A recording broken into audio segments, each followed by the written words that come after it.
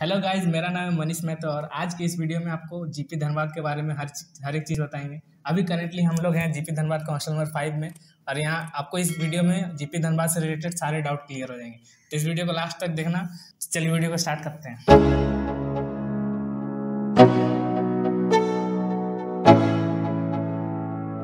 Let's go. Yeah. I'm like an addict, do I gotta have it? I ain't even playing, got a really bad habit. If it moves, gotta grab it, fuse like a magnet Lose, won't have it till I'm doomed in a casket. I ain't playing, got a weird mind. If you work 8 hours, I'ma work 9 If the shit tastes sour, you should taste mine. I'ma stay in power for a long time Get up, nah I ain't a quitter Toss me the ball, I'm a really big hitter Big picture, I'm a straight killer Rising the song to the highest bidder Got juice, got gas, I'ma move fast welcome guys हमारे इस नए video में मतलब class होता है लेकिन class में मतलब कोई भी कॉलेज कॉलेज लाइफ में मतलब आपका सिलेबस तो कंप्लीट कहीं हो ही नहीं सकता है तो बस सिलेबस से मतलब ऊपर ऊपर पढ़ा दिया जाएगा बाकी आपको खुद से पढ़ना होगा कॉलेज के भरोसे नहीं हो सकता पूरा पढ़ाई हाँ तो कॉलेज कैसा है? मतलब कौन कौन सा लैब वूब होता है या नहीं होता है? College first second second year first year third year क्या क्या होता है? थोड़ा सीन बता दो अपने। जैसे कॉलेज में वर्कशॉप का फिर है लेकिन कभी चल खुला नहीं होता है। कभी वर्किंग कंडीशन में है नहीं। बस घुमाने ले जाया जाता है विज़िट कराया जाता है। लैब वूब सब है लेकिन वर्किंग कंडीशन में कोई है नहीं। कभी कभी कोई टीचर आएँगे ले जाएँगे लैब में और शायद कुछ करवा दें कोई कोई कोई मतलब जो अपरेटस अवेलेबल होगा उससे रिलेटेड उसको दिखा के मतलब उसका थोड़ा मतलब मिल जाएगा देखने के लिए। फ़र्स्ट सेमेस्टर में वर्निंग कैलिपर ये सब दिखाएँगे उसी के बारे में बताएँगे पूरा माइक्रोमीटर ये सब। हाँ कंप्यूटर लैब तो वर्किंग में नहीं है शायद। कंप्यूटर लैब चलता है। चलता है होता है लेकिन ले नहीं जाता कोई टीचर टीचर को आप बोलेंगे तो ले जाएगा। अच्छा हम लोग के टाइम में तो सेकंड सेमेस्टर में हम लोग का था कंप्यूटर फ़र्स्ट सेमेस्टर में भी था लेकिन सेकंड सेमेस्टर में लैब था तो हम लोग सेकंड सेमेस्टर तो ऑनलाइन था। कोरोना की वजह से खोलो। तो कॉलेज में हॉस्टल फैसिलिटी है कि नहीं है? हम्म, कॉलेज हॉस्टल अभी तो हम लोग हॉस्टल में ही है वैसे तो पता ही होगा हॉस्टल फैसिलिटी है तभी तो हॉस्टल के बारे में बता दो। जैसे हॉस्टल से मिलने में थोड़ा दिक्कत कॉलेज वाला दिक्कत करता है कि जल्दी देता नहीं हॉस्टल ठीक है ना? हॉस्टल देता है आप लोग को फ़र्स्ट में आई आइएगा फ़र्स्ट कम से कम सेकेंड ईयर में देता है हॉस्टल जनरली सबको। और हॉस्टल में हॉस्टल का फ़ीस? हॉस्टल फ़ीस ज़्यादा नहीं है। एक हज़ार कुछ रुपया लगता है। वो चलान साल का लगता पड़ता है। है। पर मंथ नहीं साल का लगता है। एक हज़ार साल साल का लगता है। वो चलान कटाना पड़ता है उसी से पे होता है। उससे होता क्या है कि हॉस्टल लेने से जो चलान में रहता है ना वो स्कॉलरशिप में ज़्यादा पैसा मिलता है। स्कॉलरशिप जो मिलता है ना हर साल पैसा ज़्यादा मिलता है। हाँ तो हॉस्टल में क्या क्या आपको फैसिलिटी और क्या क्या मिलता है हॉस्टल आने पे?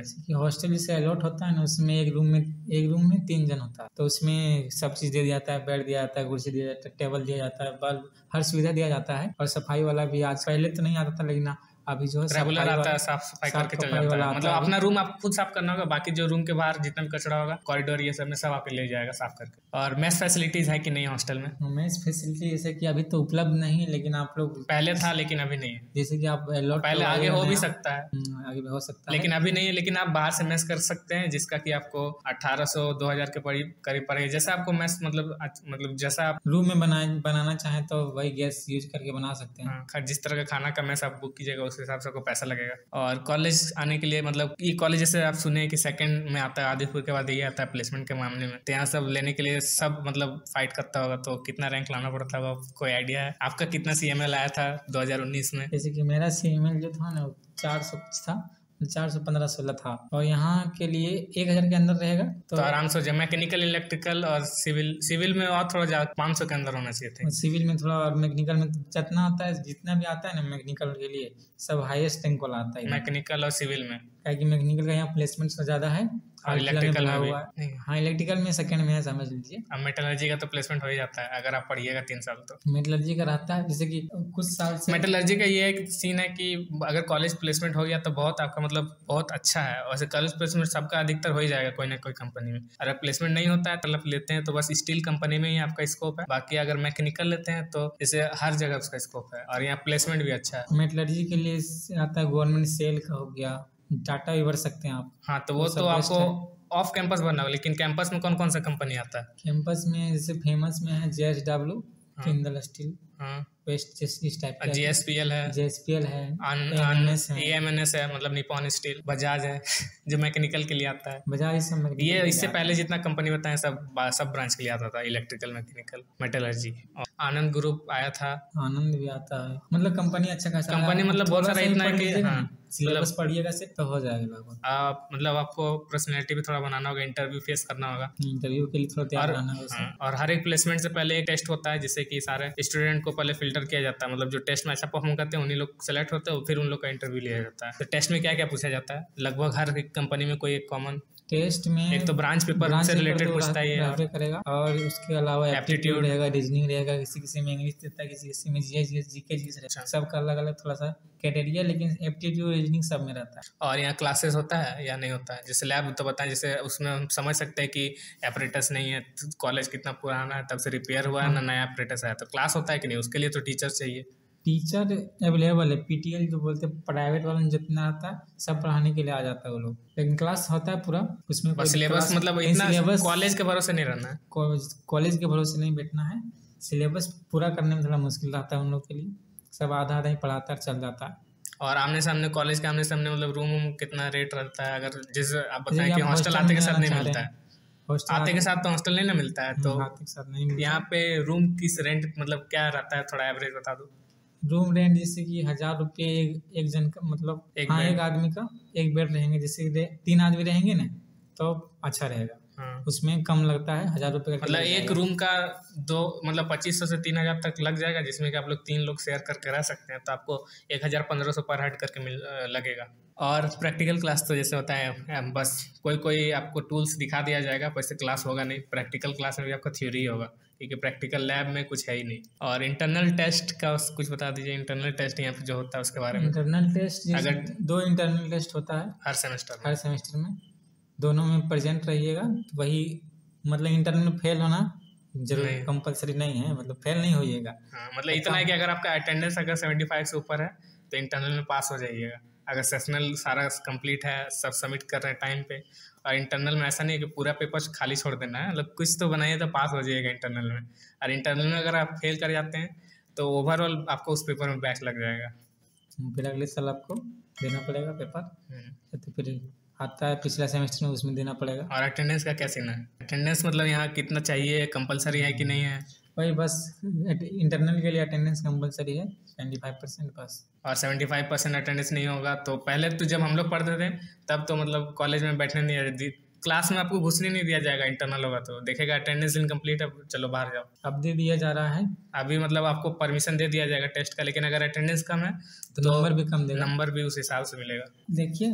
मैकेनिकल के लिए तो जैसे बता दिए कि अच्छा है इलेक्ट्रिकल के लिए भी अच्छा है और मेटलर्जी के लिए भी अच्छा है प्लेसमेंट पॉइंट ऑफ़ व्यू से सिविल के लिए कैसा है? सिविल में तो प्लेसमेंट बहुत कम होता है। प्लेसमेंट ज़्यादा नहीं आता है एक ही कंपनी आता है। सिविल का? भाई एल उसका सी सी क्या था? हाँ जैसे कि फ़र्स्ट ईयर में जो है ना वो फ़र्स्ट एक साल ट्रेनिंग आता है उसमें कम मिलता है उसके बाद four point seven four lakh अच्छा खासा पैसे पैकेज दे देता है हाँ, तो अगर सिविल में भी अगर कोई ऐसा लड़का होगा कि जिसको प्लेसमेंट में जाना है और प्लेसमेंट जाके अच्छा एल जैसे बहुत टॉप कंपनीज़ में आता है एल एन टी कंस्ट्रक्शन तो ऐसा कंपनी में अगर जाना है तो उसमें इलेक्ट्रिकल सिविल और मैकेनिकल तीनों जा सकते हैं लेकिन सिविल का थोड़ा ज़्यादा उसमें प्लेसमेंट होता है।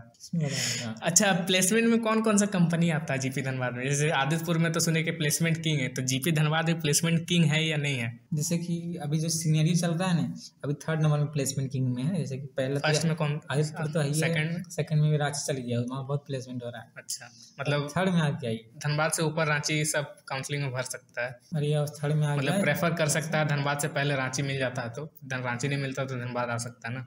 ये डिपेंड करता है पर सेशन तो इस सेशन मतलब इस सेशन सबसे ज़्यादा तो आदित्यपुर में हुआ है फिर सेकंड पे आ गया है जीपी रांची फिर थर्ड पे आ गया धनबाद। जैसा कि आप लोगों को पता है कि मतलब एग्ज़ाम जो होता है एक्सटर्नल एग्ज़ाम वो कॉलेज के बाहर होता है। तो कहाँ कहाँ सेंटर मिलता है यहाँ जीपी धनबाद से? जैसे यहाँ की जो हमेशा के के पॉलिटेक्निक ही मिलता है सुने होंगे नाम के के पॉलिटेक्निक का। ये भी आता है काउंसिलिंग के बीस किलोमीटर दूर है। ऑप्शन में भी आता है काउंसलिंग के टाइम में। फिर यहाँ से मतलब ऑटो से जा सकते हैं अगर आप आसपास रहते हैं तो। ऑटो रिज़र्व करके जा सकते हैं मतलब सब क्लास का बच्चा एक साथ। हाँ। और जीपी निरसा भी मिल सकता है। जीपी निरसा में हाल फ़िलहाल में जो है पिछला सेमेस्टर में जीपी निरसा में दिया था। अच्छा इंटरनल टेस्ट में मतलब चीटिंग वीटिंग होता है क्या थोड़ा? हम लोग तो सारा टेस्ट वैसे हम लोग का सारा क्लास ऑनलाइन ही था। तो ऑनलाइन में चीटिंग हो जाता था। लेकिन जिस समय ऑफलाइन हुआ तो उसमें चीटिंग नहीं जाएगा हाँ। उसमें एक टीचर थे शर्मा सर करके कुछ नहीं करने देते थे। मोबाइल तक छीन अगर मोबाइल आपका पकड़ा गया तो बोले बोले कॉलेज मतलब शर्मा सर रख लेंगे बोलेंगे तुम एफिडेविट बनवा के लाओ और लिखो कि तुम चोरी करते हुए पकड़ा। मैं चोरी करते हुए एग्ज़ाम में पकड़ा गया हूँ और आगे से नहीं करूँगा। ऐसा लिखवा के आपको एफिडेविट जमा करना पड़ेगा तब जाके आपको मोबाइल मिलता था।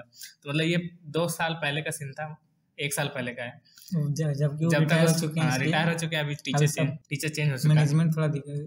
एग्जामिनेशन लेकर हर चीज़ दिक्कत होता है। थोड़ा सा दिक्कत होता है। हर एक डिपार्टमेंट बस आपका क्लास रेगुलर होगा बाकी कोई भी काम रेगुलर नहीं होगा। हम्म, हर चीज़ में लेट होगा सर्टिफिकेट सब थोड़ा लेट से मिलता है लेकिन कोई बात नहीं सब बस डिग्री मिल रहा है वैसे प्राइवेट कॉलेज में डिप्लोमा का फ़ी कितना होता है लगभग? हर सेमेस्टर मतलब हर सेमेस्टर तो बीस हज़ार दस हज़ार बीस हज़ार प्लस ही रहता होगा हर सेमेस्टर हाँ के के में ऐसे क्या है पंद्रह हज़ार बीस हज़ार है इतना ही। है और एग्जामिनेशन से पहले जैसे एग्जामिनेशन फॉर्म भरना पड़ता है उसके लिए चालान कटाना पड़ता है तो उसके लिए तो बैंक नज़दीक में ही है तो कॉलेज से जाएगा फिर कॉलेज में आपको जमा भी करना पड़ेगा तो उसके लिए बैंक यहीं नज़दीक में पंजाब नेशनल बैंक तो वहाँ से आप चलान कटा सकते हैं। और कितना चालान लगता है वैसे? एग्जामिनेशन फ़ी पंद्रह सौ का चलान शायद कटाना पड़ता है। हाँ शायद उतना ही का।